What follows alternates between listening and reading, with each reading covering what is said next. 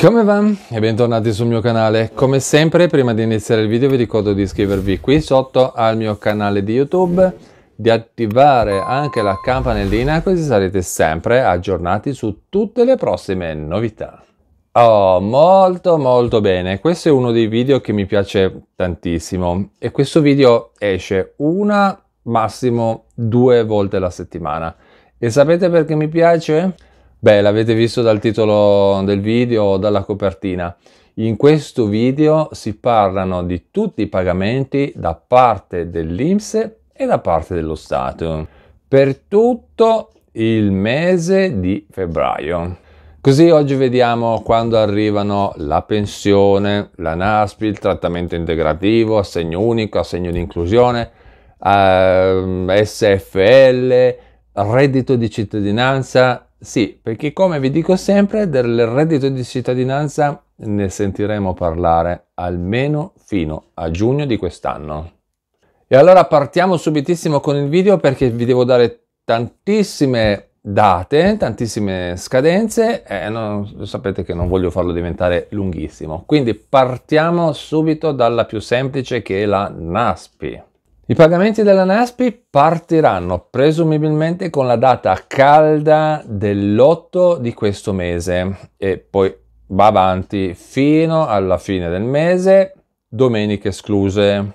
Piccolissima informazione come sempre per quanto riguarda la NASPI e cioè che questa, la NASPI spetta a partire dall'ottavo giorno successivo alla data di cessazione del rapporto di lavoro se si presenta la domanda entro i primi otto giorni dalla data di cessazione e anche i pagamenti, come vi ho detto a questo punto, quindi vanno avanti fino a fine mese.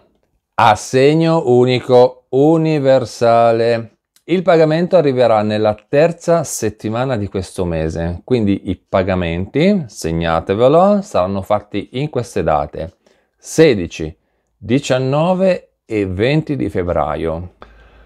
Diciamo che in linea generale comunque l'Inps ha detto che vuole mantenersi in regola con eh, i pagamenti, quindi dicono che ci sono queste ulteriori date da considerare.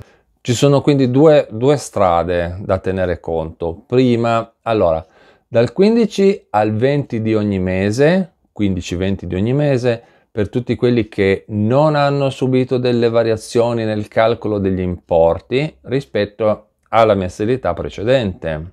Seconda strada da seguire dal 20 al 30 del mese per quelli che invece hanno per quelli che hanno subito variazioni negli importi percepiti eh, dovuti a variazioni per esempio nell'ISE o nella composizione del nucleo familiare. Poi, sempre dentro queste date, dovrebbero, in teoria, dovrebbero essere compresi anche gli arretrati dei mesi precedenti. Infine, sempre per quanto riguarda la, l'assegno, ricordatevi che dal 2023 il rinnovo dell'assegno unico è automatico, ma comunque resta obbligatorio per la famiglia rinnovare l'ISE e comunicare eventuali variazioni che incidono sull'importo, anche per eventuali aumenti. Perché bisogna rinnovare l'ISE? Perché nel frattempo, da un anno all'altro, potrebbero essere cambiate le situazioni familiari. Oh, adesso parliamo di assegno di inclusione. Oh, questo benedetto assegno di inclusione. Vediamo un po' le date calde di pagamento. Diciamo che queste, quelle di febbraio, non sono tanto date sconosciute, anche perché ne abbiamo già parlato tantissimo negli altri video, quindi in realtà cioè, non è che vi sto dicendo niente di nuovo. Però per tutti, quelli, per tutti i nuovi iscritti o per chi eventualmente si fosse perso i video precedenti, le due date calde sono queste qua, il 15 e il 27 del mese. Poi, sempre per quanto riguarda l'ADI, la presentazione della domanda all'IMS, ricordatevi che è solo il primo step, quindi il primo passaggio per ricevere il sussidio, perché oltre a fare domanda bisogna anche iscriversi dentro un sito internet che si chiama SISL e lo trovate su internet. Cioè, vabbè, eh, per chi lo sa, lo sa, ovviamente, ma io lo sto dicendo perché ancora ci sono persone che mi dicono dove vado a fare il patto di attivazione digitale? All'interno del SISL. Quindi all'interno del SISL, come ho detto, si sottoscrive il patto di attivazione digitale e poi il pagamento dell'assegno parte dal mese successivo a quello in cui viene accettata la domanda. Piccolo, piccola informazioncina dell'ultimo istante. Pare di capire, pare di capire che l'assegno di inclusione non viene pagato finché il, il Ministero del Lavoro non fa le sue dovute verifiche all'interno del SISL sul PAD.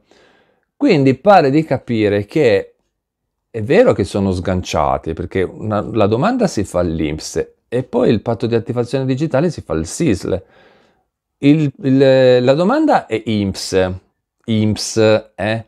l'altro è il Ministero del Lavoro, quindi pare che sia quasi vero, adesso non ci posso mettere la mano sul fuoco, però pare che sia quasi vero il fatto che INPS può anche accettare la domanda, accolta e tutto quanto, ma finché non passa la domanda del PAD al SISL, che i due poi combaciano, pare che ritardino i pagamenti. Adesso questa cosa qua non, non ne sono sicuro, come vi ho detto, io non ci, metterei, non ci metto ancora la mano sul fuoco, però voci di corridoio stanno già dicendo che questa potrebbe essere una probabilità per cui le domande vengono ritardate ma, ma, ma vi farò sapere più in dettaglio anche prossimamente. Sempre per quanto riguarda l'assegno di inclusione, volevo rispondere a una domanda e la domanda è questa.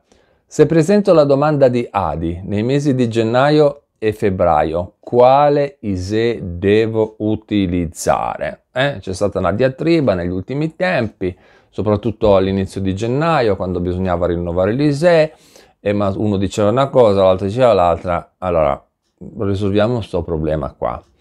Hanno detto che in via del tutto eccezionale per le domande presentate fino al 29 di febbraio e in assenza di un ISEE in corso di validità, per quanto riguarda l'erogazione, quindi stiamo parlando del pagamento, nei mesi di gennaio e febbraio, ovviamente se ci sono i requisiti, eh, attenzione, eh, eh la verifica dei requisiti viene fatta con ISE valido al 31 dicembre 2023, sempre poi facendo la verifica del mantenimento dei requisiti sulla base dell'ISE, poi ovviamente nei mesi successivi. Quindi quando si farà poi a gennaio l'ISE, eh, la verifica viene fatta poi sull'ISE nuovo di gennaio. Oh, e parliamo anche un po' di SFL, supporto formazione lavoro. Me lo chiedete sempre in tanti, non parli mai, mi dite sempre non parli mai di SFL, non parli mai di SFL. E allora parliamo un po' di questo benedetto SFL che ogni tanto sparisce, un po' tanto riappare, non si capisce niente. Cerchiamo di capire un attimino le date. Allora, diciamo che l'indennità pagata per il, supporto formazione e lavoro può arrivare ad avere parecchi ritardi e ce ne siamo ben accorti, soprattutto a gennaio, dicembre, gennaio, ce ne siamo ben che accorti.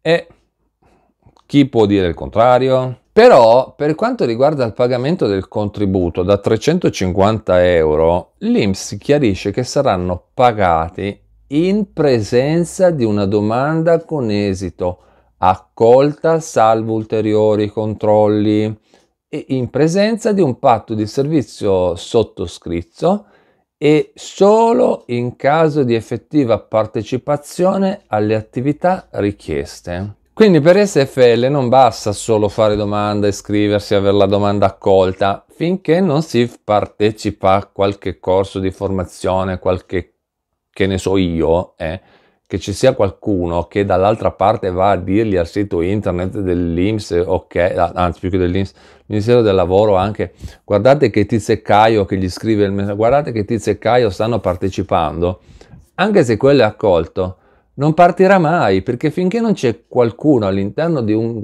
corso di formazione, non so, la segreteria, che segnala che il corso è partito, eh, finché non c'è l'abbinamento delle due questioni, eh, il pagamento di SFL non parte. Torniamo però ai nostri pagamenti. I pagamenti dicono che seguono queste date calde, perché anche qua... Mm. Allora, primo, Per le domande inviate all'INPS entro il 15 del mese e con soddisfacimento le, ehm, delle condizioni entro la stessa data, il pagamento di norma, di norma viene fatto dal 27 dello stesso mese. Secondo, per le domande inviate nel corso del mese, ma che maturano le condizioni dopo il giorno 15, ma comunque entro lo stesso mese, quindi dal 15 al 30 per capirci senza fare troppi giri di parole, il pagamento di norma viene fatto dal 15 del mese successivo. Oh, e adesso parliamo di reddito di cittadinanza, RDC. E tu dirai perché parli di RDC quando in realtà sto benedetto RDC è stato chiuso al 31 dicembre? Bene, ascoltate questo che, quello che vi devo dire. Parliamo ancora un momentino di RDC, anche se in realtà è stato chiuso. La carta RDC, attenzione, non è da buttare, mi raccomando, perché i soldi residui che eventualmente fossero avanzati all'interno della carta e che non sono stati spesi entro la fine dell'anno scorso, quindi sicuramente c'è ancora qualcuno che ha la carta RDC, perché nei commenti ci sono state persone che mi hanno detto, eh sai, ho usato la carta RDC per pagare una, una cosa, eh, questo me l'ha scritto l'altro ieri, quindi eh, vuol dire che c'è ancora gente che ha soldi sulla carta RDC.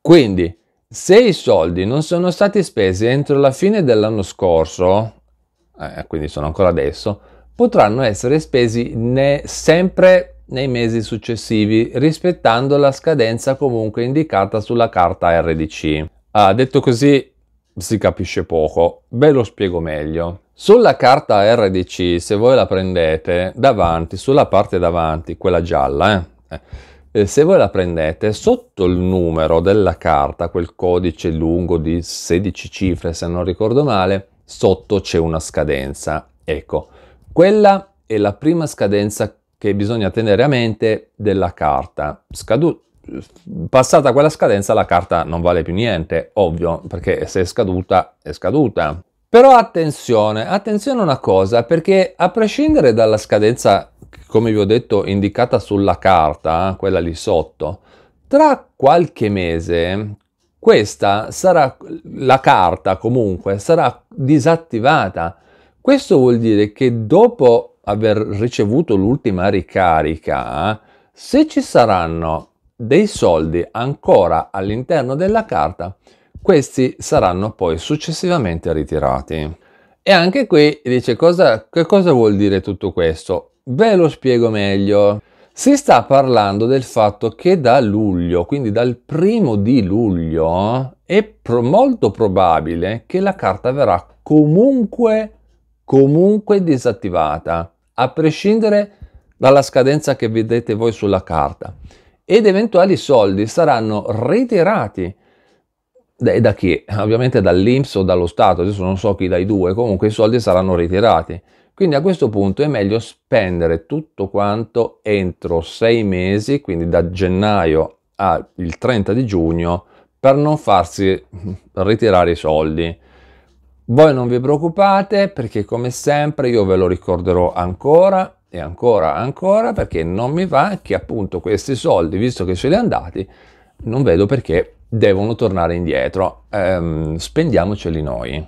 Oh, adesso vediamo il bonus Renzi sulla NASPI. I pagamenti del trattamento integrativo o bonus Renzi per gli affezionados, come me, ma non per il discorso del, del nome, perché me lo sono memorizzato così, dovrebbero arrivare già a, dalla prima metà di questo mese, quindi a partire dal giorno 9. Ovviamente, essendo bonus Renzi su NASPI, cosa succede? che parte dopo il pagamento della NASPI, è ovvio. E poi per tutti i nuovi che si sono collegati la prima volta, i pagamenti di questo bonus vanno avanti fino alla fine del mese. Potrebbe capitare una questione, ecco, visto che siamo comunque all'inizio dell'anno, questa, questa cosa potrebbe capitare, quindi potrebbe capitare che il bonus non arrivi.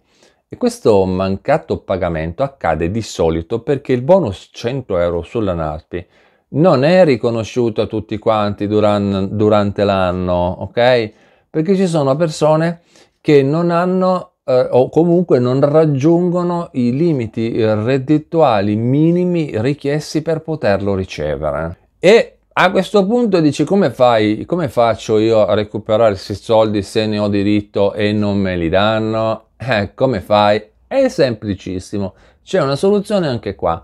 L'unico modo è quello di ricordarsi di aver diritto o comunque ricordarsi che si prendeva il bonus Renzi, quello da 100 euro, e quando poi ci sarà il momento di fare la dichiarazione dei redditi, che tra l'altro ci stiamo avvicinando al periodo della dichiarazione, perché tra un po' è marzo, quindi ci stiamo avvicinando, ricordatevi, e questo vale anche per l'anno scorso, eh, che se anche l'anno scorso non avete preso tutto il bonus Renzi, o meglio, pensavate di averne diritto di riceverlo, mi raccomando adesso che fate la dichiarazione dei redditi, ricordatevi che c'è un campo apposito dove inserire il segnalare la, la percezione del bonus Renzi ed è lì dentro che bisogna inserirlo. Se lo fate voi, ricordatevi di fare quel passaggio. Se invece lo fate fare da un CAF, allora quando andate dal CAF mettete un biglietto e dice ricordati recupero bonus Renzi eh?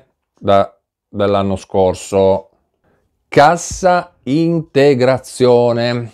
Chi sta ancora aspettando i pagamenti della cassa integrazione in deroga, del fondo per l'artigianato o di qualunque altro tipo di cassa integrazione pagata però direttamente dall'Inps deve controllare le date di accredito direttamente sul sito internet dell'Inps al, all'interno del proprio cassetto previdenziale. Ricordatevi comunque che per tutti gli altri tipi di pagamenti che non sono gestiti dall'INPS, bisogna chiedere al proprio datore di lavoro. Pensioni IMSS. Beh, allora quando uscirà questo video le pensioni di febbraio sono già state messe in pagamento e la data è quella del primo giorno del mese, eh, bancabile tra l'altro, che comunque è, stata, eh, è stato il primo di febbraio. Ovviamente il discorso del pagamento delle pensioni cambia cambia per tutti coloro che le vogliono ritirare ehm, in contanti agli uffici postali e, e, che quindi a quel punto devono seguire il calendario classico dell'ordine alfabetico mh, mm, per il ritiro della pensione. Carta acquisti. Oh, questo è il mese finalmente del pagamento della carta acquisti. Arriva a questo punto il pagamento della ricarica bimestrale della carta acquisti, detta anche social card, da non confonderci con l'altra carta. Quella carta che si chiama dedicata a te, quella è un'altra storia. Questa è la carta acquisti e la data della ricarica sulla carta parte dal giorno 15 del mese. E poi risolviamo un'altra questione, visto che comunque a gennaio c'è stato un problema con la carta acquisti.